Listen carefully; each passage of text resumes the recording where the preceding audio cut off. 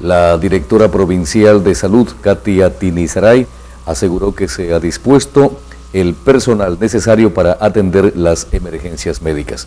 Mientras tanto, la Cruz Roja de Santo Domingo también puso a disposición una nueva ambulancia.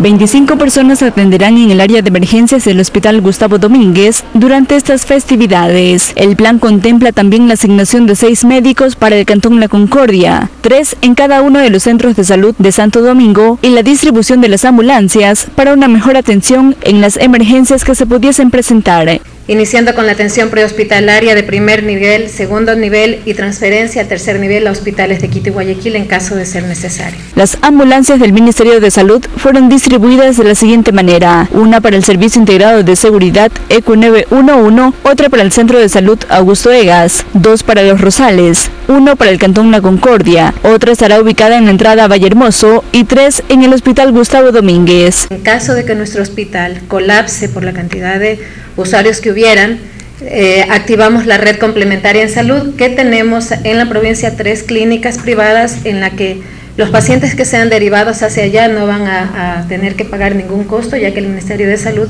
asume esa responsabilidad.